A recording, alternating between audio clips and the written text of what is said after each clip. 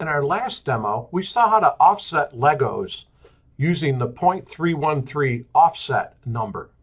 There's a help sheet in your folder that gives you a reminder of that.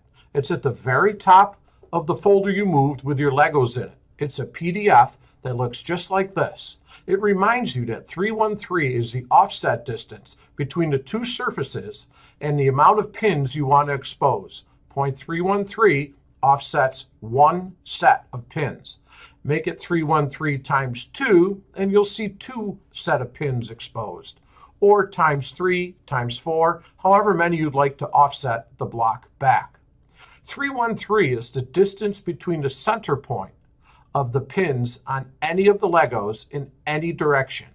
We started with a flush mate constraint and then offset back the distance we wanted, 0.313. You also might need to use negative 0.313 to get the Lego to slide in the opposite direction.